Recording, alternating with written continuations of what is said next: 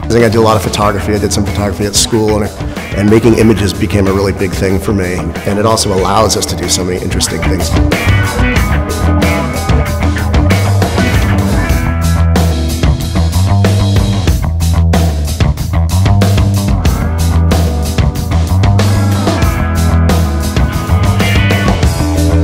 Don't know why I always thought they were cool. I just liked it the way they looked. I liked the detailing. I liked the fit of a 501. I still wear 501s. It's a very authentic product. It is very honest and it's very well made. I think there's kind of no pretense to that. I think this brand represents rebellion, individuality, and the spirit of your most authentic self.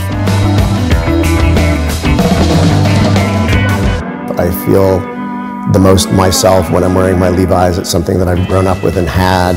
It's gone through many iterations of who I am and still feels like it belongs to me.